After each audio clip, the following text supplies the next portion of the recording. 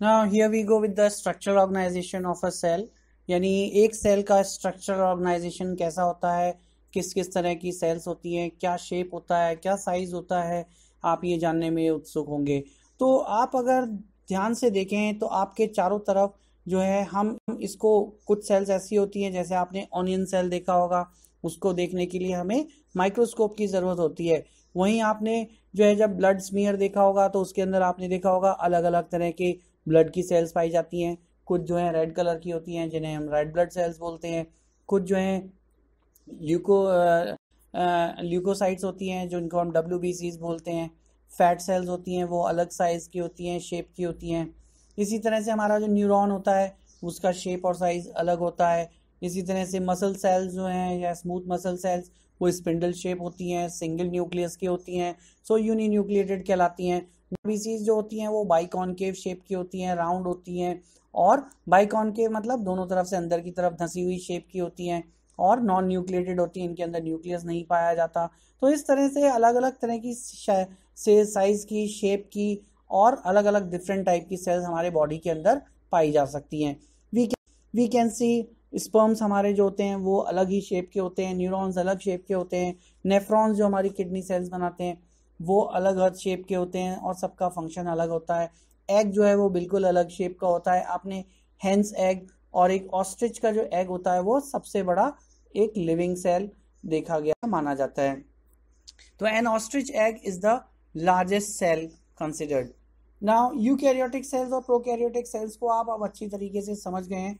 आपने उनके डिफरेंसेस को समझ लिया, कैसे दिखाई देते हैं। उनके अंदर पाए जाने वाले जो कंपोनेंट्स होते हैं, वो आपने पढ़ लिए।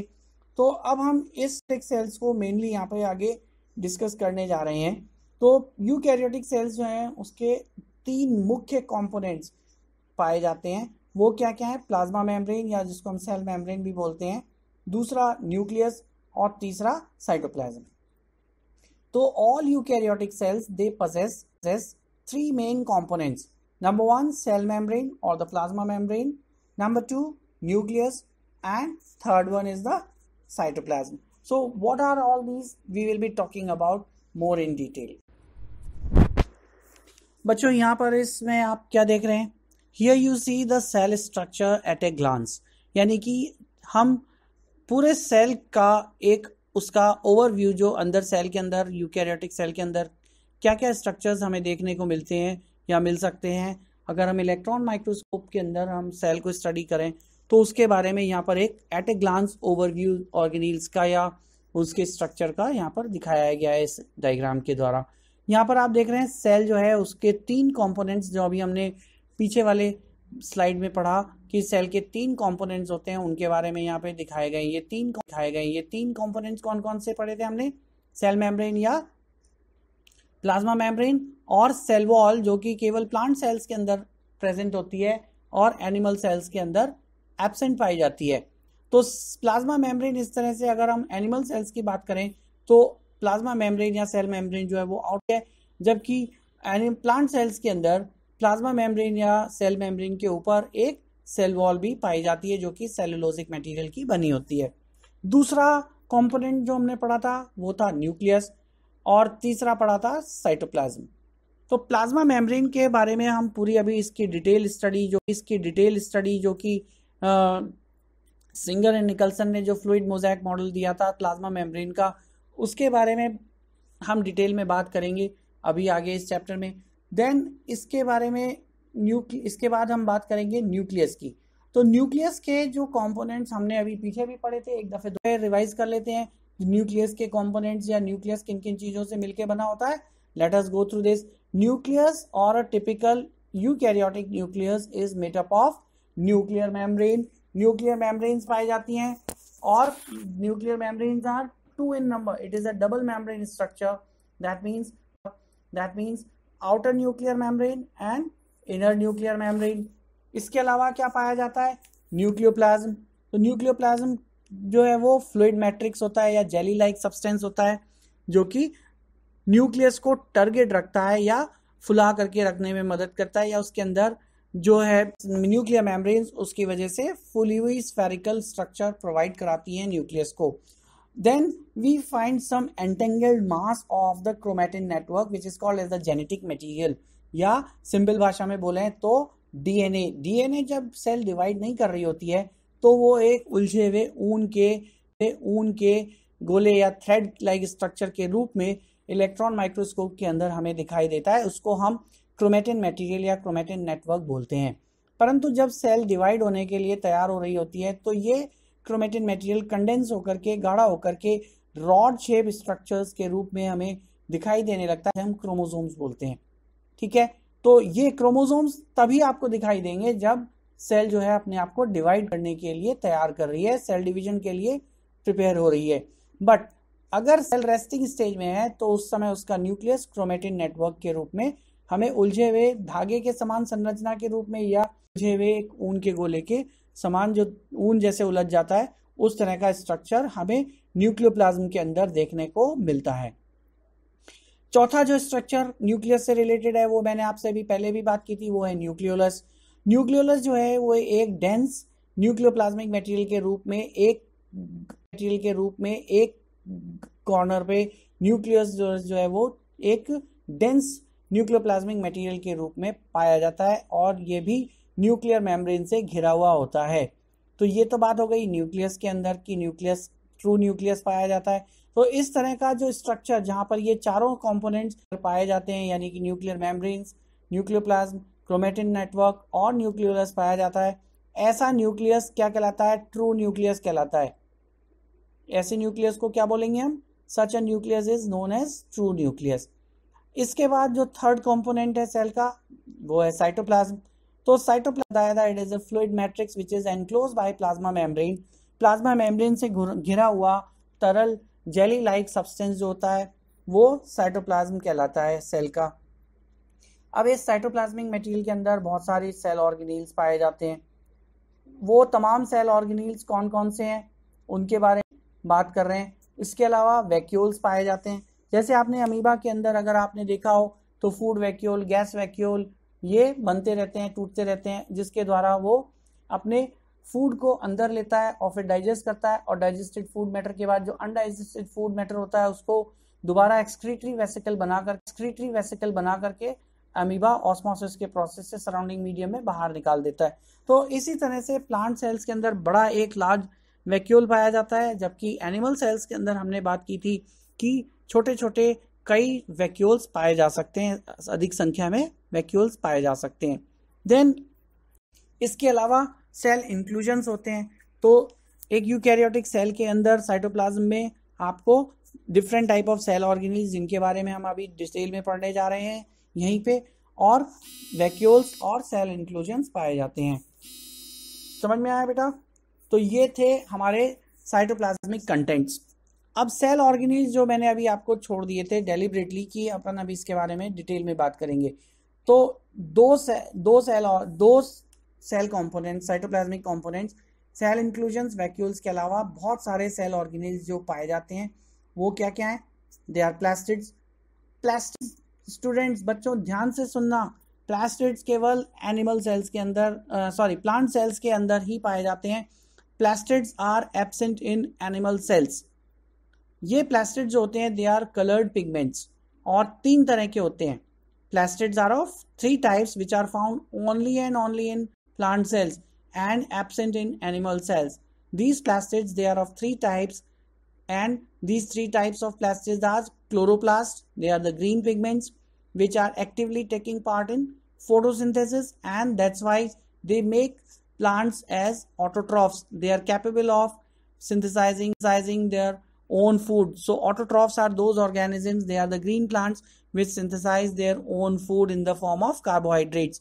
Then chromoplast chromoplasts they are another type of chroma means color so they are other different type of colored pigments which impart different different other color different parts of the plant such as stem leaves then uh, flowers and seeds and other parts of the roots and all that. So they you see that there are different parts which are different different in color. So that is because of these different kind of uh, different colored pigments like xanthophylls carotenoids which impart different different colors like red arrow yellow orange different type of colors of the flowers. These all are because of the presence of these different types of colored pigments called as the chromoplast then third one third type of plastids they are leucoplasts that means they are colorless. So there are colorless plastids also which do not take part in photosynthesis photosynthesis also and they are white in color.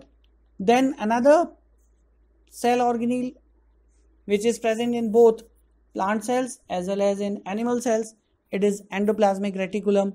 Endoplasmic reticulum they are found attached to the nuclear membrane and they are found freely floating in the contents and again endoplasmic reticulum are of two types RER and SER ये हमने अभी पढ़ा था इसके बारे में अभी आप डिटेल में हम दोबारा बात करेंगे then another important cell organelle is the Golgi complex. Golgi complex is again helping in the packaging of certain substances. Then mitochondria, which is a saucer shaped structure and it is known as the powerhouse of the cell. It is again a membrane bound cell structure, double membrane bound cell structure like plastids or like chloroplast. Then we have got ribosomes, जैसा अभी हमने पढ़ा both 70s and 80s ribosomes are present centrosomes are found centrosomes are present and centrosomes they are taking part in cell division so they they are responsible in pulling the uh, chromosomes to do different poles by the help of the spindle fibers and then lysosome lysosome you will learn that how these sac like structures parasitic enzymes they help in uh, basically cleaning of the cell structures. They clean or they eat up or they phagocyte the they have because of they possess all these hydrolytic enzymes. So they phagocyte or they eat up or they clean up the cell by eating up the worn out cell organelles.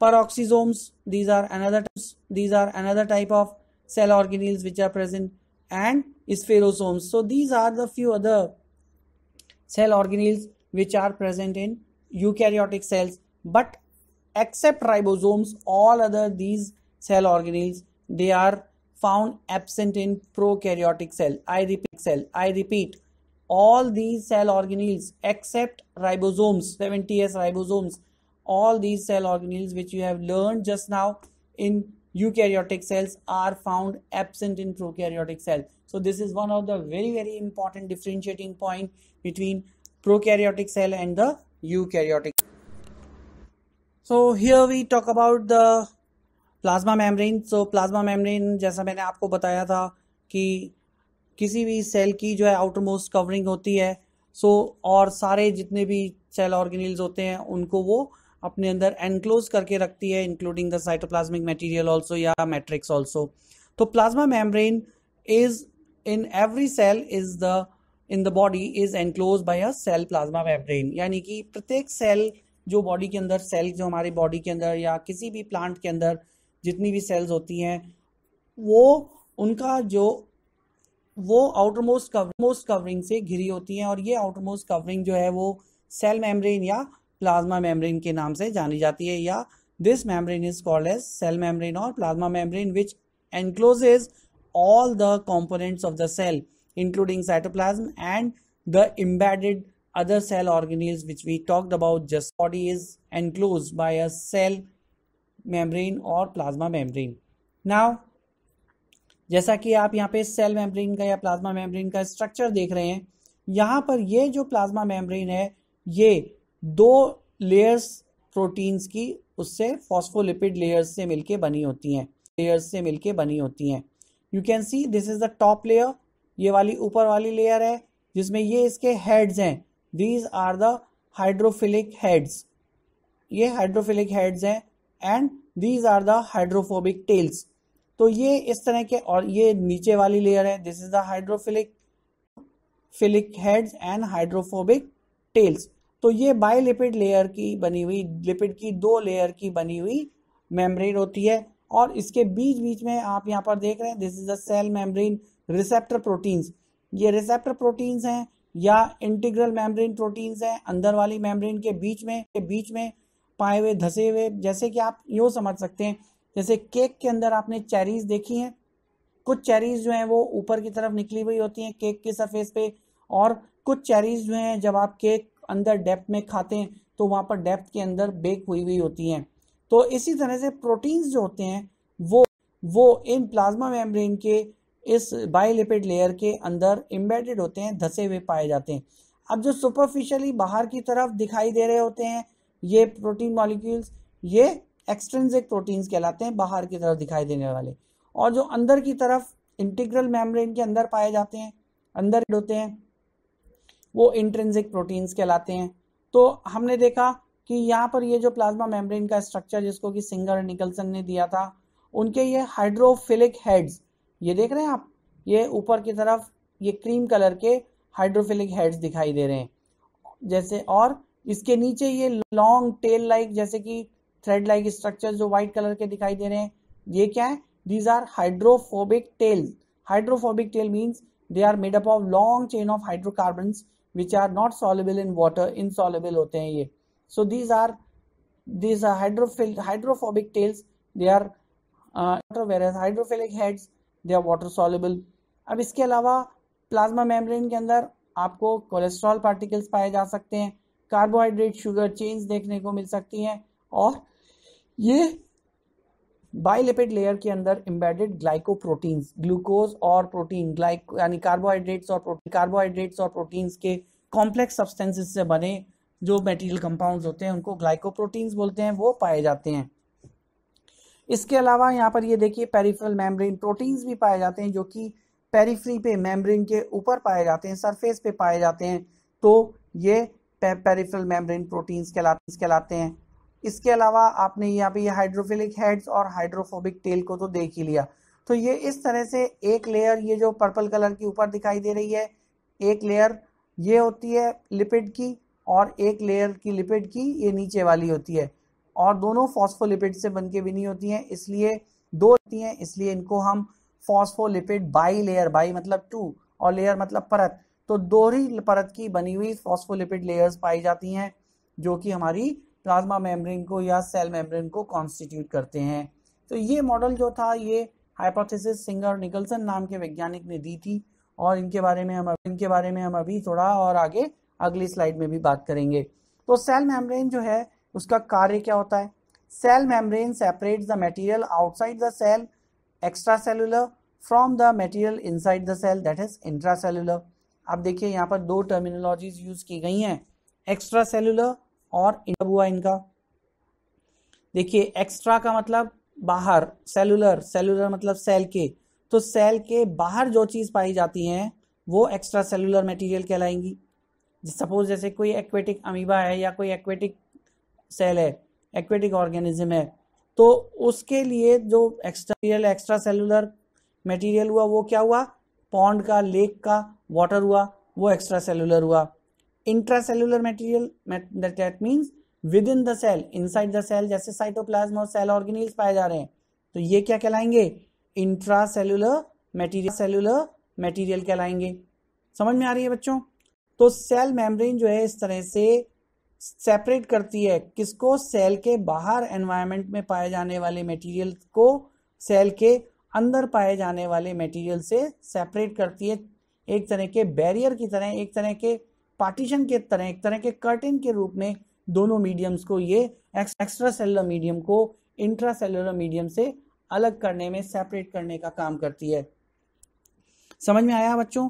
Any questions any queries you can raise in at the end of the session आप अभी अपने questions को, अपनी queries को note करते चलिए। आपके वो क्वेश्चंस और क्वेरीज सब आंसर कर दिए जाएँगे बेटा। आंसर कर दिए जाएँगे बेटा। ठीक है? अभी आप यहाँ पे ध्यान से समझिए। कि ये जो टर्मिनोलॉजीज हम यूज़ कर रहे हैं, जैसे एक्स्ट्रा सेलुलर इंट्रा सेलुलर ठीक है ना? इनका क्या मतलब होता है? ये कैसे? इनसे हमें क्या, इनका क्या को रिलेशन है आपस में? तो ये सारी टर्मिनोलॉजीज को समझना और अच्छे से पहचानना आपके लिए बहुत ज़रूरी है। तो अब हमने देखा कि ये जो प्लाज्मा मेम्ब्रेन या सेल मेम्ब्रेन है, वो बाहर के मटेरियल को सेल के बाहर वाले एटमॉस्फेयर को सेल के अंदर वाले एटमॉस्फेयर से अलग करने का पार्टीशन की तरह काम करती है। और एक तरह की झिल्ली होती है ये, ठीक है ना? जो कि दो लिपिड दो से मिलकर के upper phospholipid layer and lower phospholipid layer से मिलकर के बनी होती है और बीच बीच में इसके अंदर प्रोटीन के मॉलिक्यूल्स जो हैं वो इम्बेडेड होते हैं, धसे हुए होते हैं। So it maintains the integrity of a cell and controls passage of materials into and out of the cell अब इसके अलावा इस प्लाज्मा मेम्ब्रेन का और क्या काम होता है? ये सेल की इंटीग्रिटी को मेंटेन रखती है, यानी सेल के अंदर कोई भी चीज़ ऐसी जो सेल के लिए नुकसानदायक है, वो अंदर नहीं आ सकती, प्लाज्मा मेम्ब्रेन के थ्रू होकर के, या कोई ऐसी चीज़ जो सेल के लिए ये ज़्यादा ज़रूरी है, आवश्यक है, वो सेल के अंदर से, सेल के बाहर नहीं जा सकती। तो इस तरह से ये जो प्लाज्मा मेम्ब्रेन है, ये सेल की एक पर्टिकुलर इंटीग्रिटी का मतलब है सेल के अंदर जो आवश्यक एटमॉस्फेयर है, उसको बना के रखने में मदद करती मदद करती है और सेल के अंदर से किसी भी आवश्यक वस्तु को बाहर नहीं जाने देती और सेल के बाहर से किसी भी अनावश्यक वस्तु को सेल के अंदर नहीं प्रवेश करने देती। तो ये एक तरह के पैसेज को कंट्रोल करती है। जैसे ट्रैफ़िक पुलिस होती है, वो ट्रैफ़िक को रोड के ऊपर कंट्रोल करती है कि कोई बड़े कोई बड़े ट्रक जो है वो छोटी कॉलोनी के अंदर नहीं जाने चाहिए या ऐसे डेंस ऐसे रोड पे बड़े ट्रक्स नहीं जाने चाहिए जहाँ पे छोटे बच्चे रहते हैं या खेलते हैं या वहाँ पे छोटा ट्रैफ़िक चल रहा है। लोग स्कूटर्स पे साइकिल्स पे चल रहे हैं मार्केट लगा हुआ है। तो वहाँ पे तो ठीक उसी प्रकार, ठीक उसी प्रकार प्लाज्मा मेम्ब्रेन भी एक तरह के गार्ड के रूप पर सेल के अंदर से बाहर क्या चीज़ जा रही है, क्या जानी चाहिए, क्या नहीं जानी चाहिए। इसी तरह सेल के बाहर से अंदर क्या चीज़ आनी चाहिए, क्या आ सकती है, उसको कंट्रोल करती है। This is called as the controlling of the passage of the materials inside to outside the cell and outside to inside side to inside the cell vice versa समझ में आया? ठीक है? तो इसके आगे का हम नेक्स्ट स्लाइड में देखते हैं कि कैसे प्लाज्मा मेम्ब्रेन जो है हमारे लिए। So we will talk more about plasma membrane हम प्लाज्मा मेम्ब्रेन के बारे में अभी और जानकारी हासिल करते हैं। तो प्लाज्मा मेम्ब्रेन जैसा हमने देखा, एक तरह के पार्टीशन वॉल की तरह होती है, एक तरह की, एक तरह की मेम्ब्रेन होती है, कवरिंग मेम्ब्रेन होती है, जो किसको कवर करती है? सेल ऑर्गेनिल्स को और साइटोप्लाज्मिक कंटेंट्स को और एनक्लोज करती है, कवर करके रखती है और इस तरह से सेल को प्रोटेक्ट करने का काम करती है।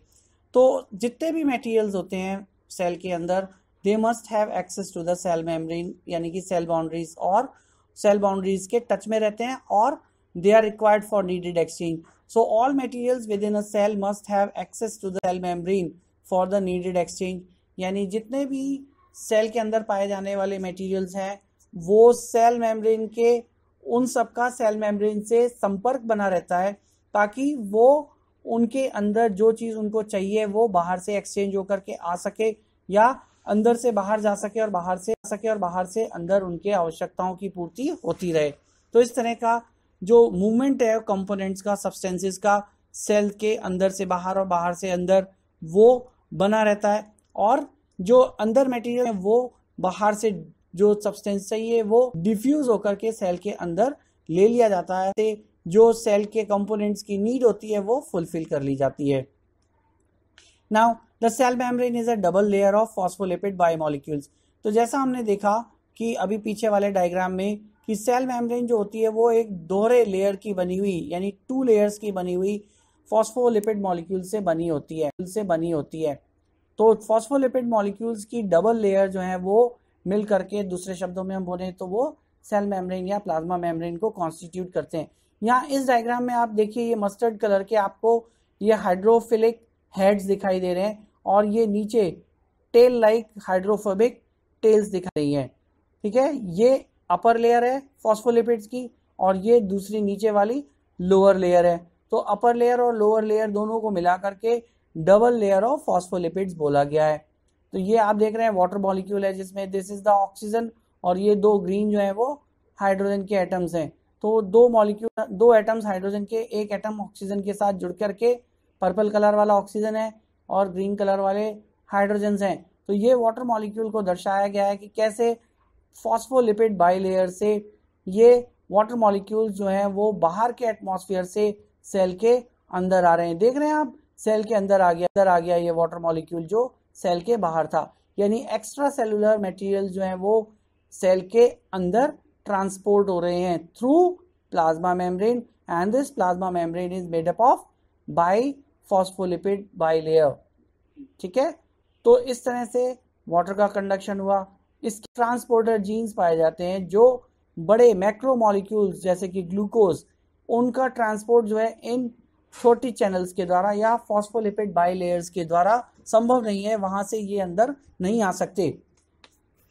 ठीक उसी प्रकार से आप समझ लीजिए, जैसे किसी मच्छर जाली, किसी विंडो के अंदर अगर विंडो के अंदर अगर जो वायर गॉज वायर लगी हुई है मॉस्किटो नेट लगी हुई है तो उससे कोई बर्ड या कोई वैस्प या कोई बटरफ्लाई अंदर नहीं आ सकता।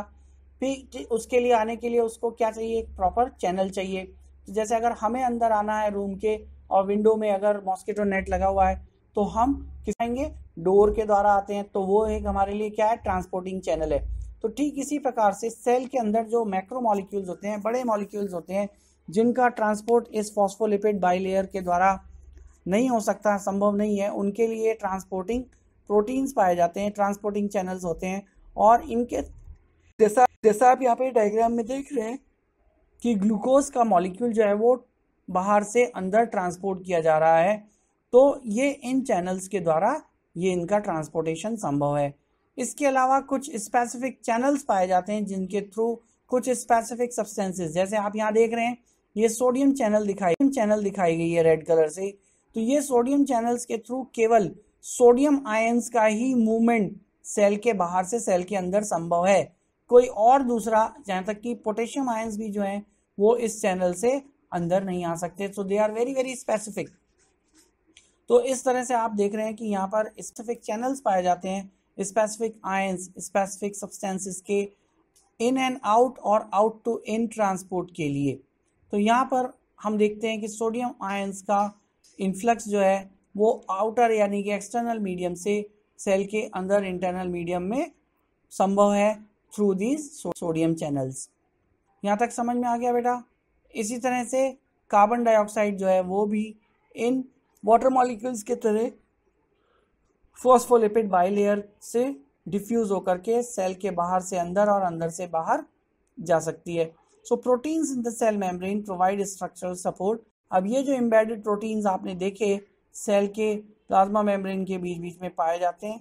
ये स्ट्रक्चरल सपोर्ट देते हैं। स्ट्रक्चरल सपोर्ट का मतलब जैसे हमारे बॉडी के अंदर स्केलेटन पाया जाता है, जिसके कारण हमारे हैंड्स हमारे लेग्स एक पर्टिकुलर शेप के दिखाई देते हैं, या एक पर्टिकुलर उनको मैकेनिकल सपोर्ट स्ट्रक्चरल सपोर्ट मिलता है फ्रेमवर्क देता है हमारा एंडोस्केलेटन उनको। ठीक उसी प्रकार से ये प्रोटीन जो है, वो सेल मेम्ब्रेन को एक पर्टिकुलर सपोर्ट स्ट्रक्चरल सपोर्ट देने का काम करते हैं, और इसके साथ साथ मटेरियल्स के पैसेज के लिए मटेरियल्स के सेल के अंदर से बाहर और बाहर से अंदर ट्रांसपोर्टेशन पैसेज के लिए चैनल्स का निर्माण भी करते हैं, यानी रास्ता बनाने का काम भी करते हैं।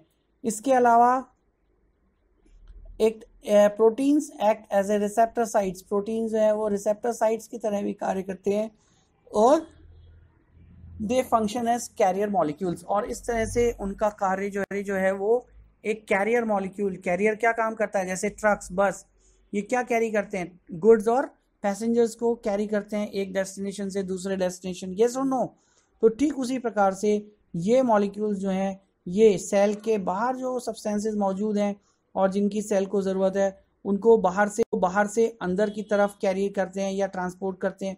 और इसी प्रकार कुछ जो वेस्ट प्रोडक्ट्स हैं, जैसे कार्बन डाइऑक्साइड है या यूरिया है या जो है नाइट्रोजनस वेस्ट सब्सटेंसेस हैं, टॉक्सिक सब्सटेंसेस हैं, ड्रग मेटाबोलाइट्स हैं, इन सबको सेल के बाहर फेंकने में या बाहर डिस्कार्ड करने में या बाहर उनको एक्सक्रीट आउट करने में मदद करते हैं और वहाँ से ये कैरी आउट होकर के they are given to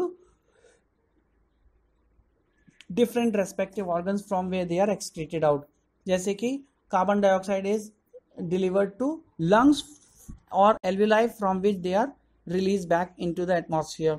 So, they provide identification markers also तो ये इनका जो फ़ंक्शन होता है, वो सब्सटेंसेस को सेल के बाहर से अंदर या अंदर से बाहर कैरी करने का कार्य करते हैं देन टर्म सेल मेम्ब्रेन सबसे पहले पहले जो वर्ड सेल मेम्ब्रेन यूज़ की थी, वो नागेली नाम के और कैम क्रैमर नाम के वैज्ञानिकों ने ये वर्ड यानी कि ये टर्म सेल मेम्ब्रेन 1885 में नागेली एंड क्रैमर नाम के दो वैज्ञानिकों ने इसका नाम प्लाज्मा मेम्ब्रेन रखा था या सेल मेम्ब्रेन रखा था। पॉवेल ने, पॉवेल 1931 में 1931 में इस वैज्ञानिक ने इसका नाम प्लाज्मा लेमा या प्लाज्मा मेम्ब्रेन रख दिया। तो नागेली और क्रैमर ने तो इसको सेल मेम्ब्रेन बोला था, सेल के बाहर पाए जाने वाली मेम्ब्रेन, सेल मेम्ब्रेन। और बाद में पॉवल ने इसका नाम प्लाज्मा लेमा या प्लाज्मा मेम्ब्रेन रख दिया। So now we are going to talk about the fluid mosaic model fluid mosaic model of the structure of the cell membrane that was propose by S J Singer and G Nicolson G Nicolson और S J Singer नाम के दो वैज्ञानिकों ने उन्नीस सौ बहत्तर में ये structure of cell membrane propose किया था या फ्लूड मोजैक मॉडल को प्रपोज किया था and it was the most acceptable model of cell membrane यानी जितने भी मॉडल्स जो हैं सेल मेम्ब्रेन के स्ट्रक्चर्स प्रपोज किए गए अलग अलग वैज्ञानिकों के द्वारा, उनमें से यहाँ हम सबसे जो सर्वमान्य या सबसे ज़्यादा ख्याति प्राप्त acceptable most acceptable model of cell membrane था, वो था fluid mosaic model and this model of plasma membrane और cell membrane was given by S J Singer and J Nicol G Nicolson इन 1972 और इस मॉडल के अकॉर्डिंगली क्या होता है?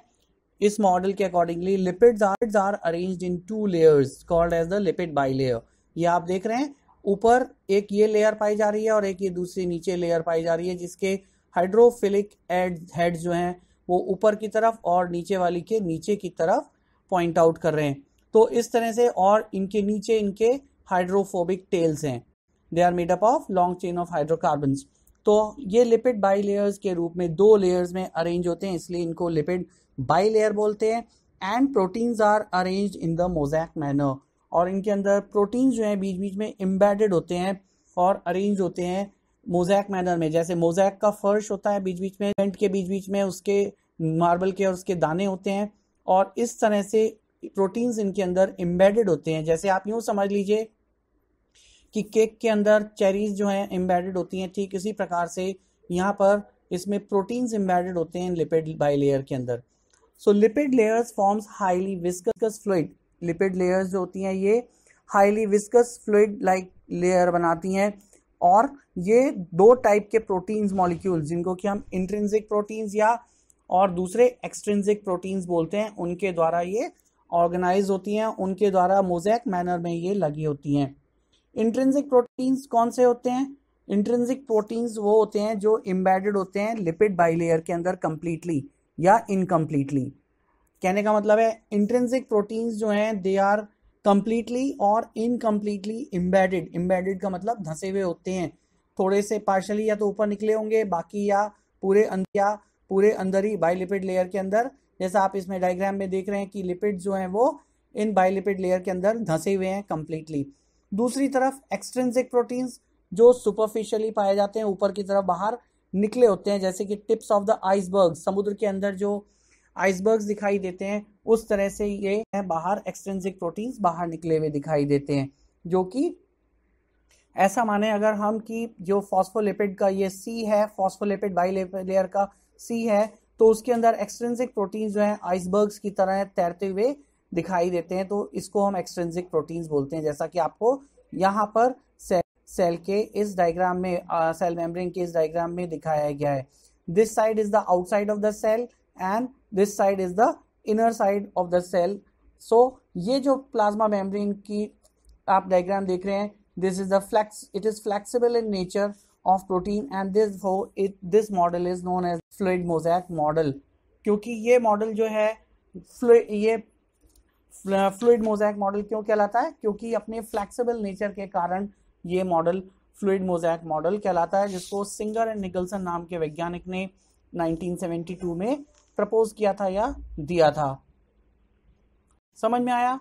So this is how we can see that 75% of this membrane is the, is made up of phospholipids and remaining in addition to that is the intrinsic proteins then cholesterol particles polysaccharide particles. These are other particles which can be seen in this inside the plasma membrane. Clear? So outer side is the surrounding medium medium in which the cell is uh, floating and inner side of this plasma membrane there is a cytoplasm. So this is the most acceptable model as on date uh, uh, uh, regarding the structure of the cell membrane. Clear? So students let's now talk about the permeability. So now uh, you now understand that uh, the plasma membrane acts as a semi-permeable membrane. And what does the permeability means now? Permeability means that this plasma membrane either allows or restrict entry of certain substances inside the cell or outside the cell that means plasma membrane is the membrane which either allows certain substances to move from outside environment into the inside environment of the cell or vice versa that means from the in cell to the surrounding medium of the cell that can be the water of the pond यानी कि कहने का मतलब ये है बेटा कि plasma membrane जो है वो एक ऐसी झिल्ली रही है जो कुछ पदार्थों को या कुछ सब्सटेंसेस का बाहर सराउंडिंग मीडियम से सेल के अंदर मूवमेंट को परमिट कर सकती है, करती है और कुछ को रोक देती है। इसी तरह से और कुछ को रोक देती है। इसी तरह से सेल कुछ सब्सटेंसेस जो सेल के अंदर से बाहर भेजे जाने हैं, उनको परमिट करती है या उनको रोकती है। तो इस तरह से ये जो बिहेवियर है सेल का, ये सेलेक्टिव परमिएबल बिहेवियर या सेमी परमिएबल मेम्ब्रेन का बिहेवियर काइंड ऑफ़ परमिएबिलिटी के बारे में बात करेंगे। परमिएबिलिटी का मतलब होता है कि किसी सब्सटेंस का उसके एक मीडियम से दूसरे मीडियम के अंदर मूवमेंट को या तो परमिट करेगा या उसको रोकेगा। तो उसको अगर वो अंदर जाने दे रहा है, किसी सब्सटेंस का मूवमेंट अक्रॉस द मेम्ब्रेन हो रहा है तो वो परमिएबिलिटी हो रहा है तो वो परमिएबिलिटी कहलाता है। और अगर नहीं होने दे रहा है तो वो इम्परमिएबिलिटी कहलाता है। अब हम देखते हैं कि परमिएबिलिटी के कितने प्रकार होते हैं या how many types of permeability is possible और simply will be learning about in this slide kind of permeability तो काइंड ऑफ़ परमिएबिलिटी में क्या क्या है? पहला है let us talk about what do what do we mean by impermeable तो impermeable substances क्या होते हैं? मेम्ब्रेन या इम्परमिएबल मेम्ब्रेन कौन सी होगी? Membrane which does not allow to pass through it both solvent and solute molecules वो impermeable कराएगा, उसका एग्ज़ाम्पल क्या है? Membrane it is not allowing any substance neither the solvent nor the solute to move either from either inside from outside nor from inside to outside यानी कि अगर ऐसी कोई मेम्ब्रेन जैसे कि क्यूटिकल लेयर है, जो किसी भी सब्सटेंस को सेल के थ्रू के थ्रू सेल के अंदर बाहर से नहीं जाने दे रही है और ना किसी चीज़ को बाहर से अंदर आने दे रही है तो ऐसी लेयर क्या कहलाएगी? इम्परमिएबल लेयर कहलाएगी। इसका एग्ज़ाम्पल क्या है? Cuticle layer which is found on the epidermal layer of most of the leaves leaves के डाइकॉटिलिडनस प्लांट्स की लीव्स के ऊपर एक एपिडर्मिस के ऊपर एक वैक्सी लेयर पाई जाती है, जो कि इम्परमिएबल होती है, और उस लेयर का नाम है क्यूटिकल लेयर दूसरा सेमी परमिएबल मेम्ब्रेन अब सेमी परमिएबल मेम्ब्रेन क्या करती है या क्या, कौन सी होती है? Semi permeable membrane semi permeable membrane allows to pass only solvent but not the solute particles through it यानी सेमी परमिएबल मेम्ब्रेन के थ्रू केवल सॉल्वेंट के पार्टिकल्स ही आर पार आ जा सकते हैं, जैसे कि वाटर मॉलिक्यूल्स वाटर क्या है? सॉल्वेंट है. और उसमें डिजॉल्व अगर कोई आयंस हैं मॉलिक्यूल्स हैं, वो के थ्रू अंदर, बाहर से अंदर नहीं जा सकते या अंदर से बाहर नहीं आ सकते थ्रू सेमी तो ऐसी मेम्ब्रेन क्या कहलाएगी? सेमी परमिएबल मेम्ब्रेन कहलाएगी। इसका एग्ज़ाम्पल क्या होगा? आर्टिफिशियल वेपर मेम्ब्रेन ये मेम्ब्रेन कौन सी कहलाएगी? इसका एग्ज़ाम्पल क्या है? आर्टिफिशियल वेपर मेम्ब्रेन क्या है? आर्टिफिशियल वेपर मेम्ब्रेन तीसरा कौन सा है? परमिएबल मेम्ब्रेन अब परमिएबल मेम्ब्रेन कौन सी होती है? अगर membrane if a membrane allows to path both to pass both solvents as well as solute molecules through it freely as permeable membrane जैसे प्राइमरी सेल वॉल तो अगर कोई मेम्ब्रेन फ्रीली सॉल्वेंट के और सॉल्यूट के मॉलिक्यूल्स को are पार, यानी कि बाहर से अंदर और अंदर से बाहर आने जाने देती है तो ऐसी मेम्ब्रेन परमिएबल मेम्ब्रेन कहलाएगी। तो ऐसी मेम्ब्रेन परमिएबल मेम्ब्रेन कहलाएगी। जैसे एग्ज़ाम्पल क्या है? प्राइमरी सेल वॉल लास्ट में selectively permeable membrane selectively permeable membrane कौन सी होगी? If a membrane allows penetration of solvent freely, but selects the passage of specific solute particles ऐसी मेम्ब्रेन जो केवल सॉल्वेंट को तो अंदर फ्रीली अंदर से बाहर या बाहर से अंदर आने जाने देती है बट जो सॉल्यूट पार्टिकल्स हैं, उनको सेलेक्ट करके ही अंदर से बाहर या बाहर से अंदर ट्रांसपोर्ट कर सकती है। तो ऐसी मेम्ब्रेन क्या कहलाएगी? सेलेक्टिवली परमिएबल मेम्ब्रेन कहलाएगी। और ऐसी मैम वो क्या है? प्लाज्मा मेम्ब्रेन इसलिए क्योंकि प्लाज्मा मेम्ब्रेन जो है सॉल्वेंट पार्टिकल्स को, जैसे वाटर पार्टिकल्स को तो फ्रीली बाहर से अंदर अंदर से बाहर आने जाने देती है बट जो सॉल्यूट पार्टिकल्स हैं या मॉलिक्यूल्स के पार्टिकल्स हैं, उनको सेलेक्टिवली भेजती है, कुछ ही पार्टिकल जो है सेलेक्टिवली वो सेल के अंदर आ सकते हैं, अंदर से बाहर जा सकते हैं। तो इस प्रकार का बिहेवियर प्लाज्मा मेम्ब्रेन का सेलेक्टिवली परमिएबल मेम्ब्रेन कहलाता है। ठीक है? और इसीलिए हम प्लाज्मा मेम्ब्रेन को सेलेक्टिवली परमिएबल मेम्ब्रेन भी बोलते हैं। यहाँ तक समझ में आ रहा है आपको? तो इसको बेटा एक हम दूसरे एग्ज़ाम्पल के द्वारा भी समझ सकते हैं। सपोज़ एक, अभी समझ सकते हैं। सपोज़ एक किसी कोई कमरे के अंदर एक विंडो है और विंडो के अंदर अगर हम ग्लास की शीट लगा दें या हम दरवाज़ा लगा दें लकड़ी का तो उसके थ्रू कुछ भी चीज़ अंदर बाहर नहीं आ सकती। अगर कांच लगा दिया हमने सपोज़ तो कांच से केवल रोशनी अंदर आ सकती है सकती है डस्ट अंदर नहीं आ सकती हवा नहीं अंदर आ सकती कोई आ, मच्छर नहीं अंदर आ सकता कोई मक्खी नहीं अंदर आ सकती। तो ऐसा ऐसी ये क्या कहलाएगी? ये इम्परमिएबल हो गई। इम्परमिएबल हो गई मैम ये वाला। तो इस तरह की मेम्ब्रेन जो किसी भी चीज़ को अंदर नहीं आने देती, ना तो उसको सेल के, वो इम्परमिएबल मेम्ब्रेन हो गई। एग्ज़ाम्पल हमने जैसे क्यूटिकल देखा। दूसरा, अगर हम विंडो में ग्लास की जगह, हम उसकी जगह क्या लगा दें? हम उसकी जगह सपोज़ मोटे छेद वाली जाली लगा दें हमें।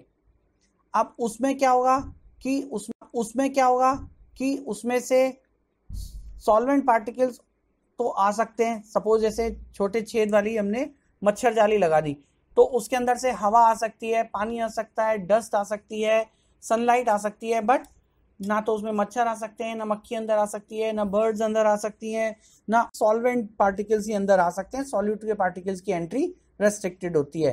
तो ऐसी मेम्ब्रेन सेमी परमिएबल मेम्ब्रेन कहलाएगी, जिसका एग्ज़ाम्पल हमने यहाँ हमारे इसमें देखा आर्टिफिशियल वेपर मेम्ब्रेन तीसरा परमिएबल मेम्ब्रेन परमिएबल मेम्ब्रेन का क्या मतलब हुआ? कि जैसे सपोज़ अब इसकी जैसे सपोज़ अब इसकी जगह हम मोटे छेद वाली जाली लगा दें, जिसमें से चिड़िया भी अंदर आ सकती हैं लिजर्ड्स भी अंदर आ सकती हैं, हवा भी अंदर आ सकती है, पानी डस्ट मच्छर, मक्खी सब अंदर आ सकते हैं। तो ऐसी मेम्ब्रेन क्या हो गई? परमिएबल है। सबके लिए सब लोग आ जा सकते हैं उसके अंदर। जैसे सॉल्वेंट भी आ सकता है सॉल्यूट भी अंदर आ सकता है सेल के, और सेल के अंदर से बाहर भी जा सकता है वाइस वर्षा तो ऐसी मेम्ब्रेन प्राइमरी सेल वॉल होती है, और ऐसी मेम्ब्रेन्स को हम परमिएबल मेम्ब्रेन्स बोलते हैं। और लास्ट में सेलेक्टिवली परमिएबल मेम्ब्रेन जिसको हमने देखा प्लाज्मा मेम्ब्रेन और प्लाज्मा मेम्ब्रेन की मेम्ब्रेन जिसको हमने देखा प्लाज्मा मेम्ब्रेन और प्लाज्मा मेम्ब्रेन केवल सेलेक्टेड सॉल्वेंट के मॉलिक्यूल्स को तो फ्रीली अंदर बाहर जाने से, दे सकती है। ट्रांसपोर्ट कर सकती है बट जो दूसरे सॉल्यूट पार्टिकल्स हैं या आयंस हैं मॉलिक्यूल्स हैं, उनका मूवमेंट या तो रेस्ट्रिक्ट कर देती है एक्टिवली जो कुछ पार्टिकल्स या कुछ सॉल्यूट ही उसके थ्रू आर पार अंदर से बाहर या बाहर से अंदर आ जा सकते हैं। तो ऐसी मेम्ब्रेन सेलेक्टिवली परमिएबल मेम्ब्रेन हो गई, जिसका एग्ज़ाम्पल हमने प्लाज्मा मेम्ब्रेन देखा। Now after learning about this permeability and types of types of permeable membranes now we will be talking about the functions of the plasma membrane plasma membrane क्या क्या function perform करती है?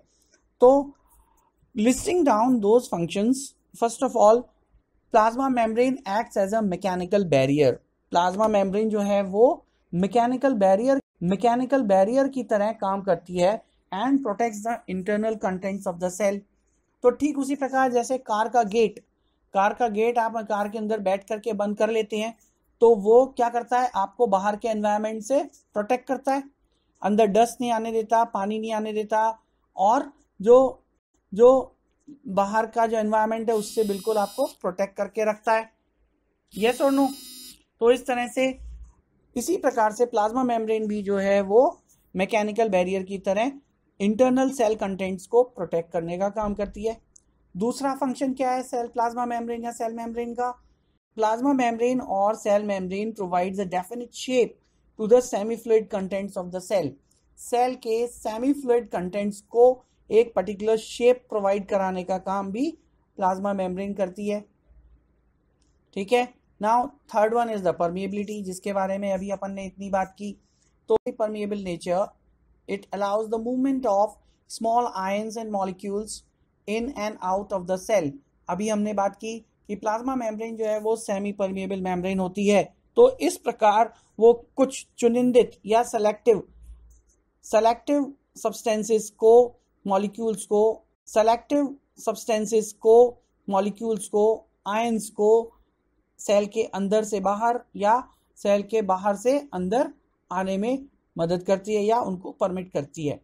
Then next function of the cell membrane और plasma membrane is recognition so recognition recognition sites and center of attachment यानी कि plasma membrane के ऊपर कुछ ऐसे सरफेसेस कुछ ऐसी रिकॉग्निशन साइट्स मौजूद होती हैं, जिसपे कुछ सब्सटेंसेस अटैच हो सकते हैं। जैसे उदाहरण के तौर पर इंसुलिन रिसेप्टर्स पाए जाते हैं।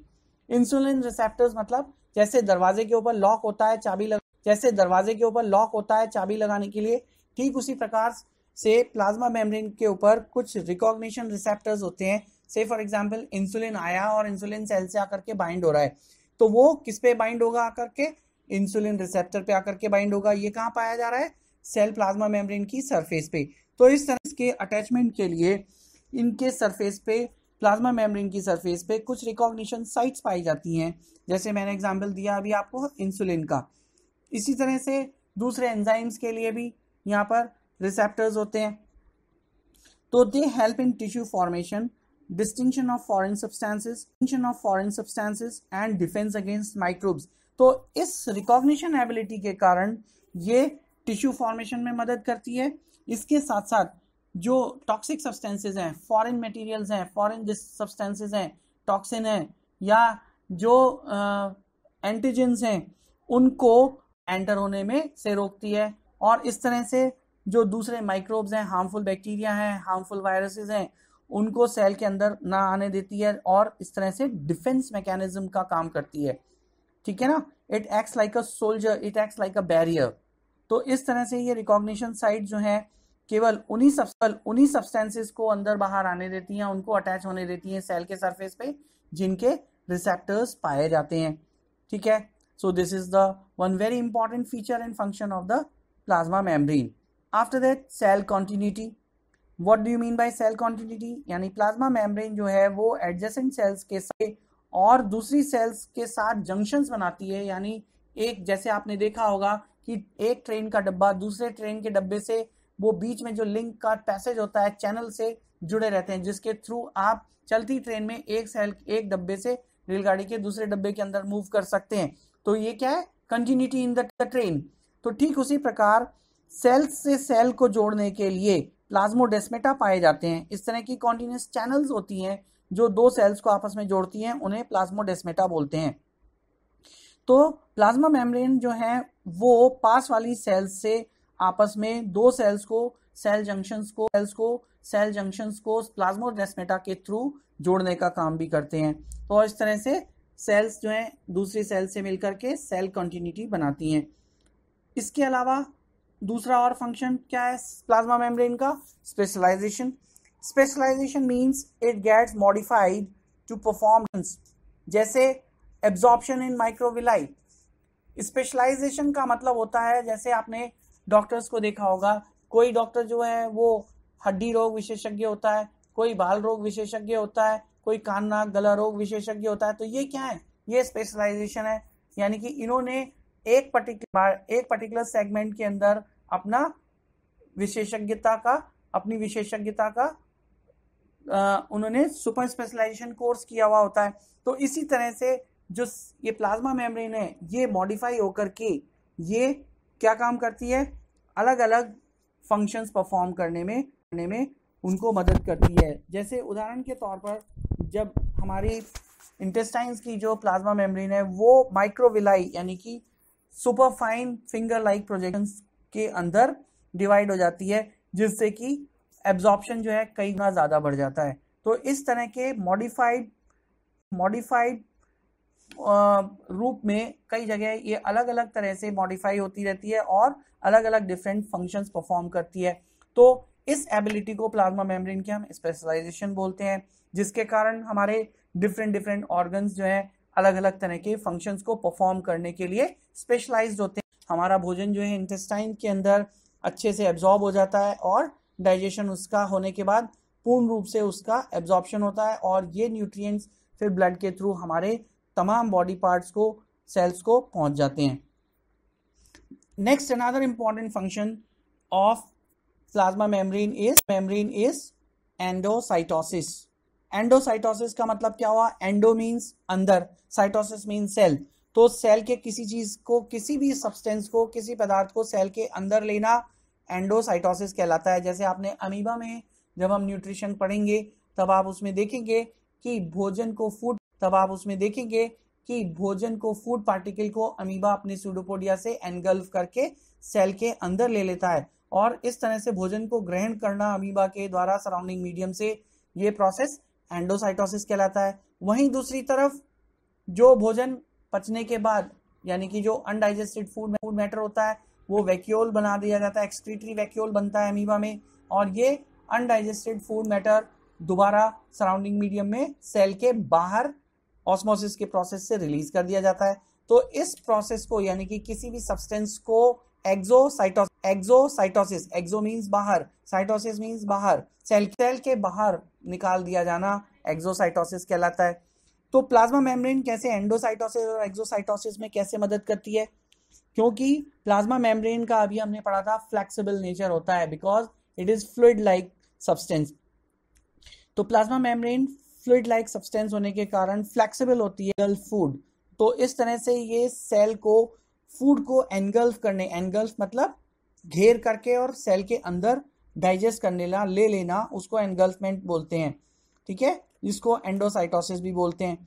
और दूसरे सब्सटेंसेस फॉरेन पार्टिकल्स जैसे कोई टॉक्सिक सब्सटेंसेस हैं, या कोई बैक्टीरिया है हैं, या कोई बैक्टीरिया है तो उनको भी एनगल्फ कर करके और एक्सटर्नल एनवायरनमेंट से ले लेती हैं। इस प्रोसेस को हम एंडोसाइटोसिस बोलते हैं। जैसे मैंने आपको अभी एग्ज़ाम्पल अमीबा के फ़ूड पार्टिकल को इंजेस्ट करने का बताया।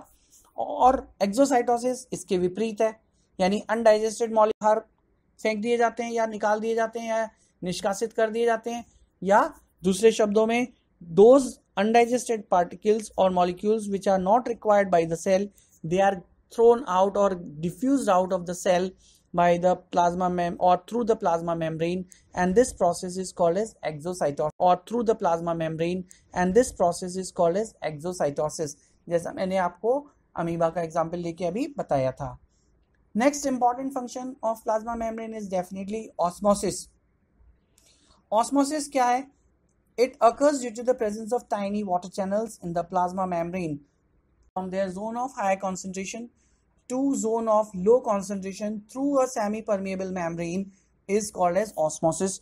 So plasma membrane is definitely a semi-permeable membrane, selectively permeable membrane. So it so the movement of tiny water particles through the plasma membrane plasma membrane takes place and this is this is why the plasma membrane also serves the function of osmosis then active and passive transport these are the another very important functions of plasma membrane so different types of molecules they are transported through plasma membrane in active transport हम उसको बोलते हैं जब किसी transportation में चाहे वो plasma membrane के बायोलिपिड लेयर के थ्रू हो रहा हो या किसी इम्बेडेड प्रोटीन्स के थ्रू हो रहा हो जिसमें एटीपी का एग्जॉशन होता हो या एटीपी का ब्रेकडाउन होता हो तो ऐसे ट्रांसपोर्टेशन को जिसमें एटीपी के ब्रेकडाउन से ट्रांसपोर्टेशन को जिसमें एटीपी के ब्रेकडाउन से कोई भी सब्सटेंस सेल के बाहर से अंदर या अंदर से बाहर ट्रांसपोर्ट किया जाता है मूव किया जाता है,